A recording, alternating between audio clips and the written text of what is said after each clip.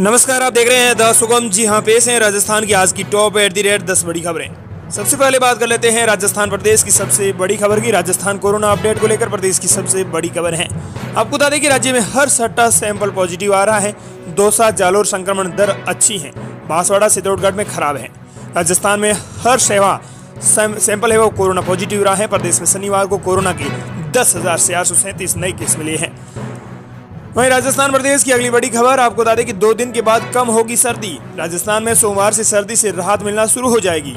प्रदेश के सभी जिलों में मौसम शुष्क रहेगा और तापमान में बढ़ोतरी होना शुरू हो जाएगी। पूर्वी राजस्थान में शनिवार को दिन रात चल रही सर्द हवाओं से राहत नहीं मिल पाई है। इधर आपको बता दें कि करौली में 2.2 सेल्सियम है, वो पारा दर्ज किया गया है। और चित्तौड़गढ़ में 1.7 वहीं हनुमानगढ़ में 2.1 सेल्सियम पारा दर्ज किया गया है। कई जिलों में सर्दी का प्रकोप जारी है। वहीं राजस्थान प्रदेश की अगली बड़ी खबर, झुंझुनू के लाल को मिलेगा राष्ट्रपति वीरता पदक। झुंझुनू के एक बेटे को वीरता पदक से सम्मानित किया जाएगा। झुंझुनू के लाल अजय सिंह सीआरपीएफ में उप निरीक्षक हैं। सूरजगढ़ उपखंड के सिरसला गाँव में खुशी की लहर है। 2019 में अजय ने अदम्य साहस का परिचय देते हुए दो इनामी नक्सलियों को ढेर गिरा दिया था। अब उनका चयन राष्ट्रपति वीरता पदक के लिए किया गया है। वही राजस्थान प्रदेश की अगली बड़ी खबर, मंत्री सांसद के बयान पर सियासी बवाल। अफसर को लताड़ा, कहा, जूते साटने का शौक है तो पार्टी ज्वाइन कर लो, नहीं, नौकरी छोड़ दो। राजस्थान के जोधपुर ज़िले के शेरगढ़ एसडीएम को सांसद और केंद्रीय जल शक्ति मंत्री गजेंद्र सिंह शेखावत और पाली सांसद पीपी चौधरी ने भरी बैठक में जमकर फटकार लगाई है। दरअसल, गणतंत्र दिवस समारोह के आयोजन में सार्वजनिक मंच पर एसडीएम ने पूर्व सांसद की तारीफ़ की थी। साथ ही मौजूदा पाली सांसद को फ़ील्ड में इंटीट्यू बताया था। इसी बयान पर सियासी बवाल हो गया। दोनों नेताओं ने कलेक्टर से एसडीएम के खिलाफ कार्रवाई करने को कहा है। पाली सांसद बीबी चौधरी ने तो यहाँ तक कह दिया कि जूते साटने का इतना ही शौक है तो पार्टी ज्वाइन कर लो और नौकरी छोड़ दो। गजेंद्र सिंह शेखावत ने एसडीएम को फटकार लगाते हुए कहा कि आप पब्लिक प्रोग्राम में खड़े होकर सांसद को पासिंग मार्क्स दे रहे हो। फिर भी आप नौकरी कर रहे हो, आपकी हिम्मत कैसे हुई? सरकारें बदलती रहती हैं, ये सरकार भी इस साल बदल जाएगी। तुम्हें अभी 20 साल नौकरी करनी है। वहीं राजस्थान प्रदेश की अगली बड़ी खबर, आज नहीं होगा संडे कर्फ्यू राजस्थान में कोरोना की नई गाइडलाइन की पाबंदियों से सोमवार से छूट मिलेगी। हालाँकि संडे कर्फ्यू से छूट एक दिन पहले ही मिल जाएगी। राज्य सरकार के गृह विभाग की ओर से शनिवार रात संशोधित गाइडलाइन जारी कर दी गई है, जिसमें बताया गया है कि देश में 30 जनवरी को शहीद दिवस के अवसर पर विभिन्न स्थानों पर कार्यक्रम करके राष्ट्रपिता महात्मा गांधी को श्रद्धांजलि दी जाएगी। इसको ध्यान में रखते हुए गृह विभाग ने नगरीय क्षेत्रों में संडे कर्फ्यू समाप्त कर दिया है।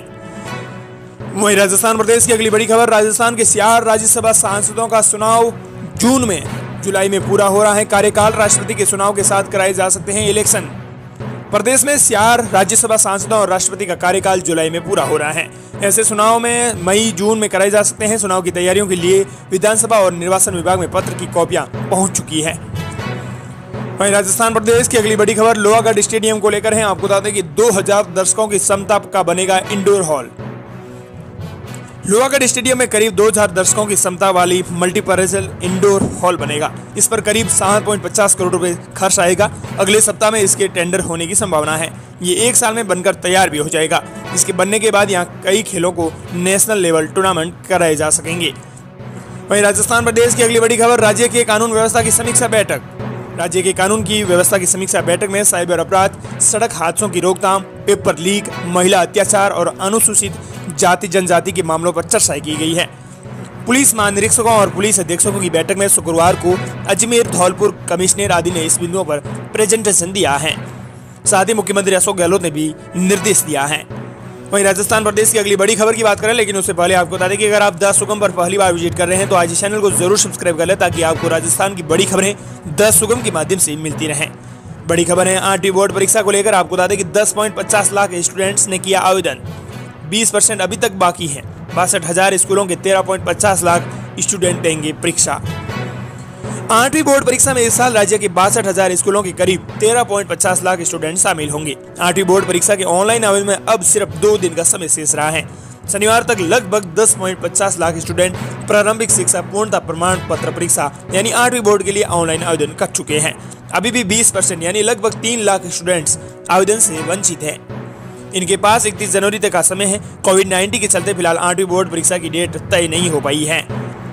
वहीं राजस्थान प्रदेश की अगली बड़ी खबर, यात्रियों के लिए रोडवेज़ ने वेबसाइट पर किए कई बड़े बदलाव। घर बैठे अब बनवा सकेंगे रोडवेज़ के रियासती पास। डाक से मंगवाने पर अतिरिक्त देने होंगे पिछहत्तर रूपए। रोडवेज़ से निःशुल्क और रियासती पास के ज़रिए सफ़र करने वाले यात्रियों के अब पास बनवाने के लिए रोडवेज़ डिपो जाने की ज़रूरत नहीं है। आवेदक अब घर से ऑनलाइन अप्लाई कर सकते हैं। अगर आवेदक पिछहत्तर रुपए अतिरिक्त देगा तो पास तैयार होने के बाद उनकी डाक के ज़रिए घर पहुँच जाएगा रोडवेज़ ने इसको लेकर प्रक्रिया भी शुरू कर दी है। इससे ज़िले के पंद्रह हज़ार से ज़्यादा यात्रियों को बड़ा फ़ायदा मिलेगा।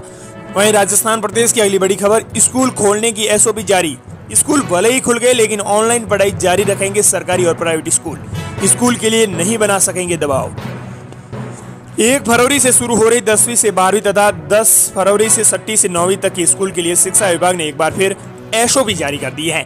विभाग ने साफ़ तौर पर कहा है कि कोई भी सरकारी या प्राइवेट स्कूल है। स्टूडेंट्स को इन तारीखों के बाद भी स्कूल आने के लिए बाध्य नहीं कर सकेंगे। अलबत्ता बच्चों को घर पर पढ़ाने के लिए ऑनलाइन क्लासेस का सिलसिला जारी रखा जाएगा।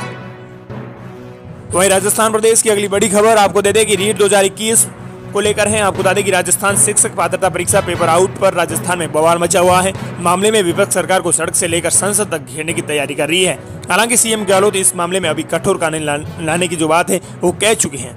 अब तक मामले में बड़ी संख्या में गिरफ्तारियाँ भी हो चुकी हैं। रीट प्रकरण ने सरकार की जमकर फजित कराई है। ये थी राजस्थान के आज की टॉप एट दी रेट दस बड़ी खबरें। मिलते हैं